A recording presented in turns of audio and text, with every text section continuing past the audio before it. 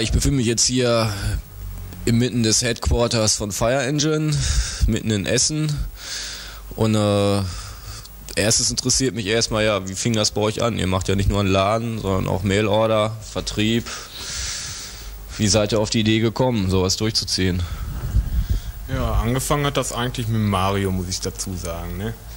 Telefoniert gerade da hinten, der ist der Boss und der hat den Laden in Krai aufgemacht. Der ist mein Stadtteil hier in Essen, wo ich wohne. Und der Andy auch. Wir haben da zusammen Platten eingekauft. Und so hat sich das entwickelt, ne? Also wir da rein und er uns immer die guten Sachen aus Australien angeboten, ne? Muss ich dazu sagen, er auch der Einzige, der die Sachen überhaupt anbieten konnte. Und wir uns dafür, dafür für, von Anfang an interessiert und halt immer fett eingekauft, ne? Und dann haben wir uns gedacht, ist eigentlich besser hier zu arbeiten, als hier einzukaufen. Weil dann kriegst du die Sachen auch billiger, ne? Ganz klar. Und ne, seitdem verkehren wir hier regelmäßig. Kann ich dazu nur sagen. Ja, wie ist das? Label, Mailorder, Vertrieb, Laden. Ist das nicht zu viel oder muss das sein, um überhaupt überleben zu können? Oder wie sieht es da aus? Ich würde sagen, muss sein, um überleben zu können. Echt weil Mail-Order brauchst du, weil hier allein in Essen ist irgendwie eine scheiß Stadt, muss ich dazu sagen. Musikmäßig, Underground-musikmäßig.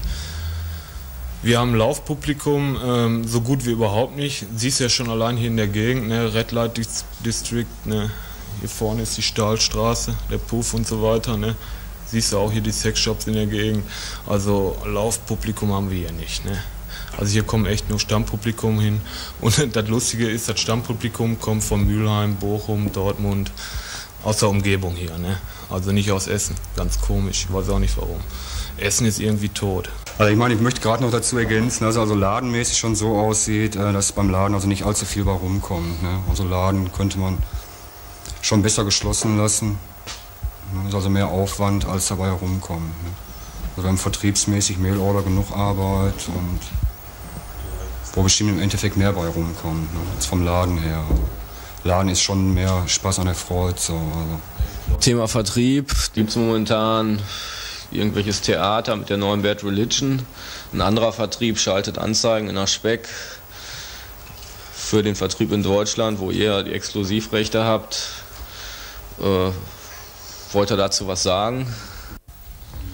Also da kann ja eigentlich am besten der Mario Auskunft geben, der wird hier gleich mal auftauchen, nehme ich an. Sagen, um Weil warum? Mario macht auch die meisten Connection halt, muss ich jetzt mal auch mal dazu sagen. Wir erzählen hier immer gut die, ähm, die Großhandelssachen und so. Der Mario checkt halt alles ab, ne? Der, weil der kann auch korrekt Englisch, wir können das nicht so gut, würde ich mal sagen, nicht so korrekt, ne?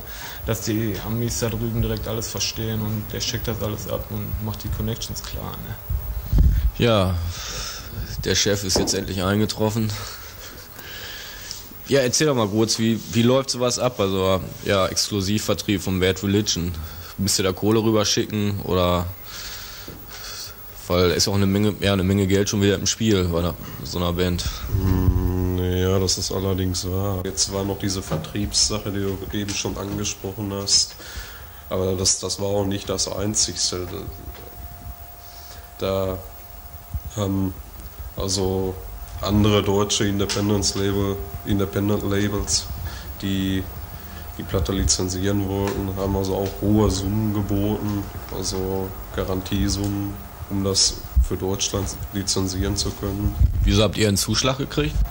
Die Frage ist eigentlich ganz gut. ja, den Zuschlag, also haben wir bekommen, weil, also genau weiß ich es auch nicht, aber ich schätze, es liegt daran, dass wir vor längerer Zeit die, die ersten waren aus Deutschland, die äh, Epitaph Records ankontaktet hatten.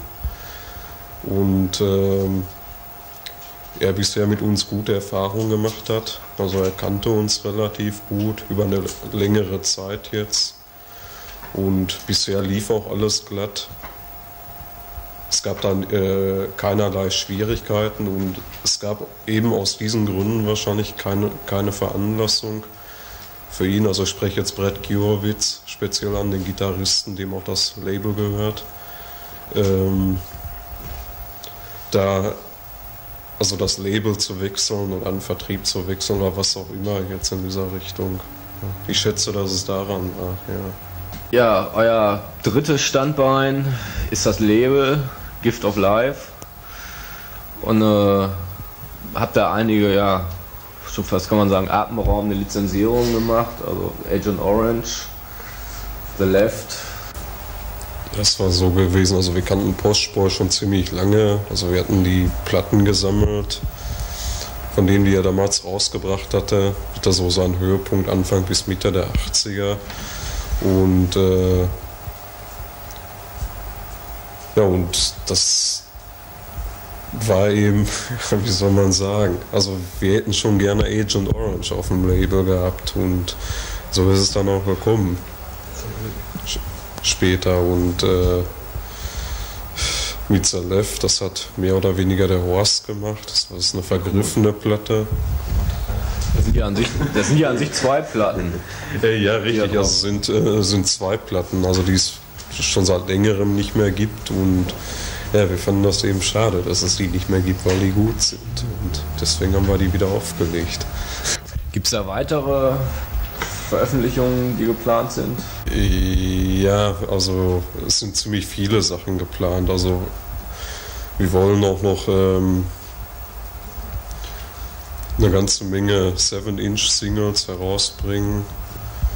Unter, unter anderem eine Wiederveröffentlichung der ersten Guild-Single, der ersten Germs-Single. Das ist auch schon so gut wie klar. Und äh, Zusammenstellung von Electric Blue, Peggy Sue aus Finnland. LP, ja. sehr gute Zusammenstellung. Dann in Planung LP. Planung LP der Sticky Fields aus Neuseeland, Weep Woman Weep, darf man jetzt auch schon sagen. Also ihr wollt euch auch neben ja, Australien, Neuseeland habt ihr ja eh eine besondere Connection so ziemlich auf die alten LA Punk-Sachen Ja. spezialisieren. Ja, also das ist, weil das das ist, äh, ja, was wir selbst auch hören.